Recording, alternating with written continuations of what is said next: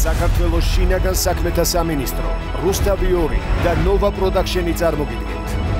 ქართული პოლიციის ფაილები.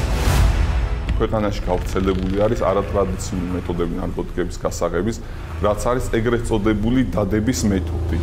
გამოძიება ნარკორეალიზატორების კვალდაკვალ. და ხშირ შემთხვევაში ვიდეოზე ვიღებთ როგორ ახდენს ეს პიროვნება ნარკოტიკული საშუალების სხვადასხვა ადგილზე დამალ. ალინა მუსავევა დედასთან და მამინაცოლთან ერთად ორგანიზებული დანაშაულს ეწეოდა კონკრეტულად ასაღებდა ნარკოტიკულ საშუალებას.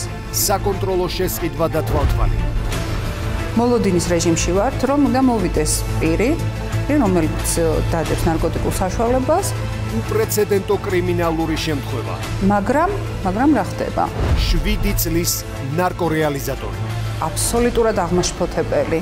დანაშაულებრივ საქმიანობაში ჩართეს მცირეწლოვანი შვილი. ბავშვით შენიღბული მძიმე დანაშაული. პრაქტიკაში 1000 ტიპის დანაშაულთან გვიმუშავია, თუმცა ეს იყო უპრეცედენტო. პარასკევს.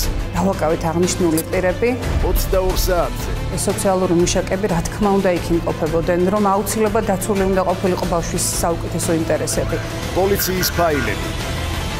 რუსთავი 2-ზე.